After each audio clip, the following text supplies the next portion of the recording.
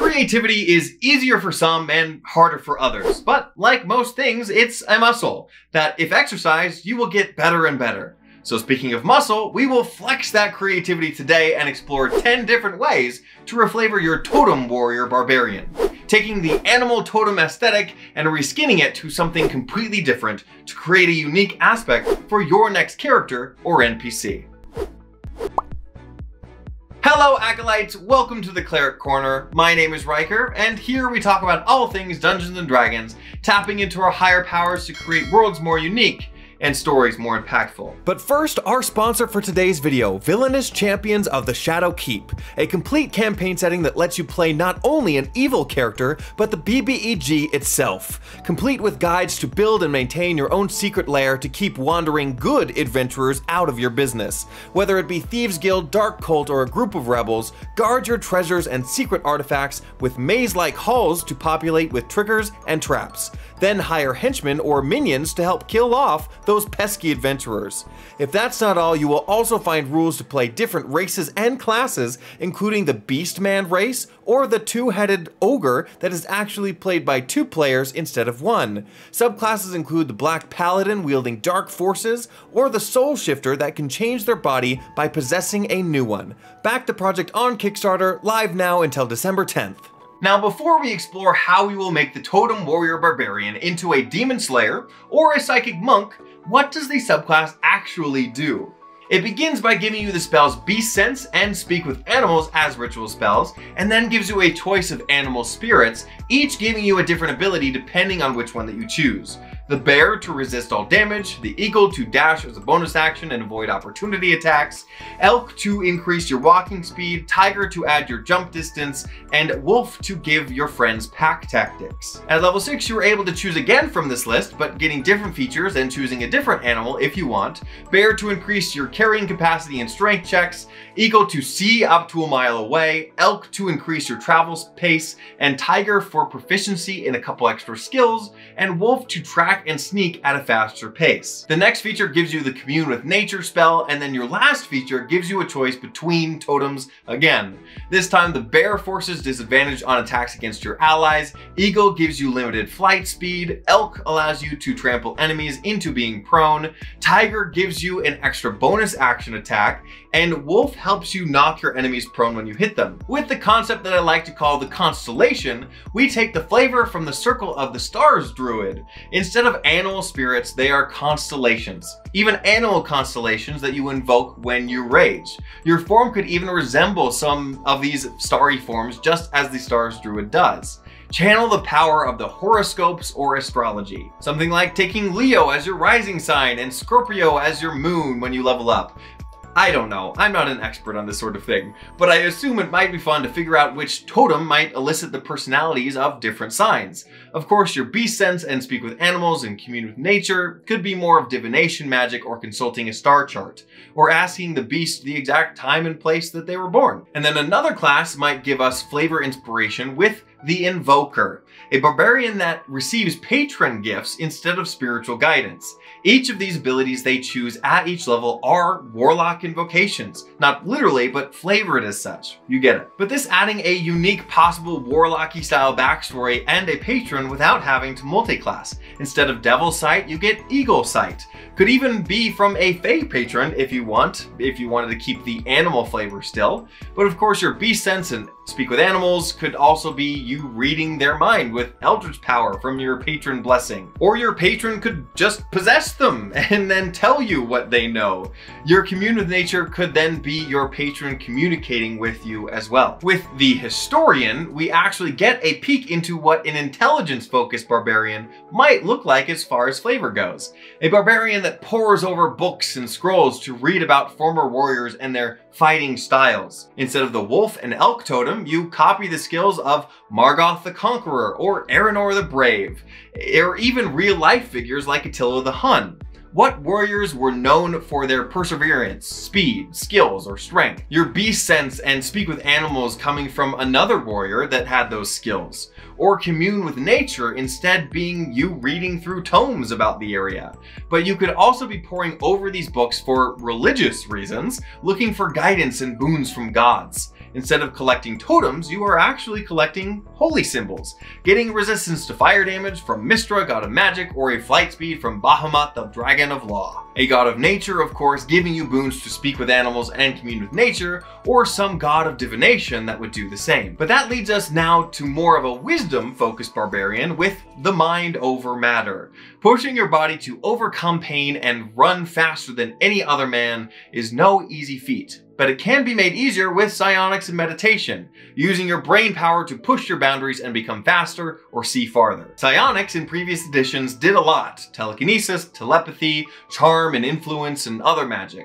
You could even take feats like telekinesis or telepathy to aid this character concept. Read the minds of beasts that you talk to, or expand your mental awareness to commune with nature.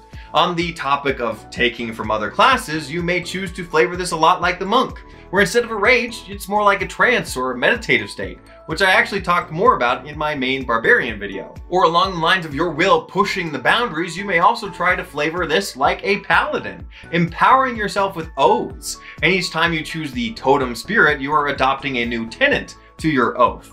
This resolve empowering your drive and ambition to your cause. But taking different skills in different places is very iconic for fantasy TTRPGs and even fantasy video games. Perks, feats, skills, abilities, whatever you like to call them, as you gain experience and gain access to special choices to customize your character. So in the same way, we have the skill tree. Your totem spirit options acting in the same way that a skill tree works.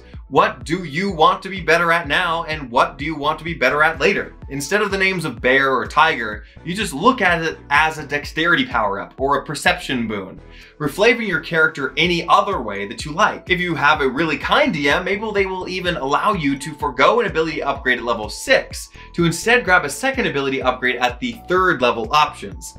The more levels that you grow, the more options that are available to you in the pool. But speaking of upgrades, I am actually looking for a couple more helpers to improve this channel's content creation.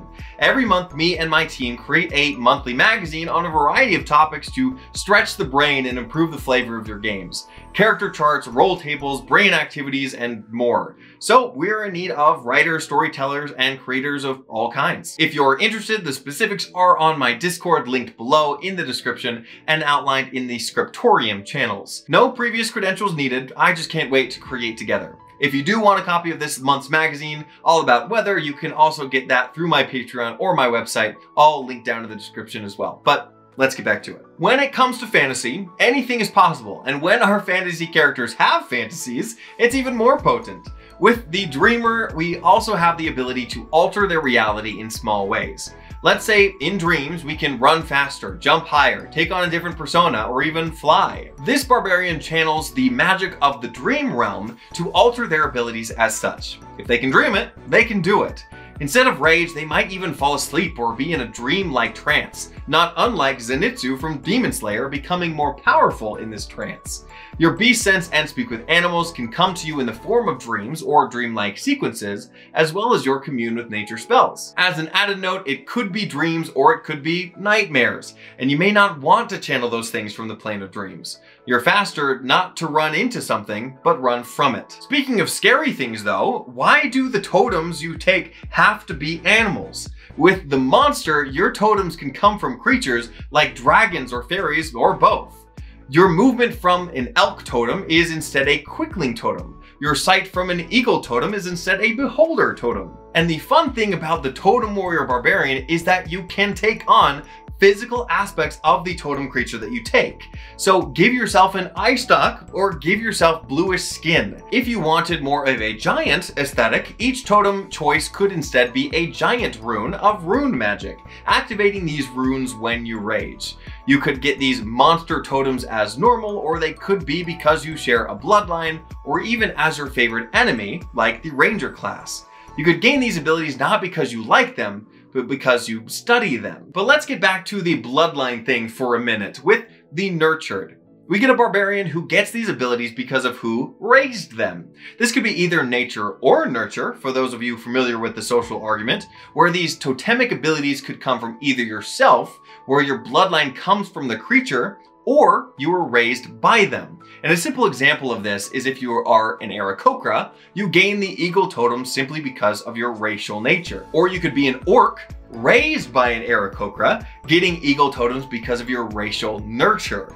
Your tiger abilities from tabaxi parents, wolf from werewolf parents, or you could even have an elk race in your world and them get their abilities from their elk parents. Or you could just say that your features come from a dwarven heritage and reflavor them that way possibly just as an extension of your other racial features. But many features of a given person can also be cultural, being a result of the culture that they grew up in. So, with the house, this barbarian gets their skills from growing up in a noble house or certain faction. Much like the Eberron campaign setting, these houses are broken up by dragon marks. While one house is great at herding livestock and animal husbandry, another is great at stealth, intrigue, and assassinations. Depending on the totem you take as a barbarian, it could just be a skill that you learned or perceived through being a part of this familial group. Maybe even being a part of a noble house with the crest depicting a bear, a wolf, or a tiger.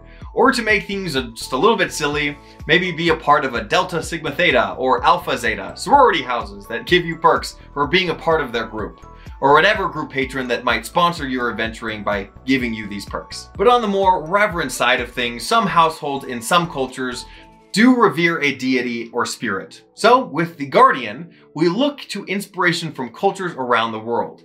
In Chinese culture, you can often find guardian spirits or household deities, entities that watch over the home in general. Mushu from Mulan was technically one of these spirits, and you could even argue the cricket. Also called tutelary deities, they are also a spirit or guardian of a specific place, geographic feature, person, lineage, or occupation, among others.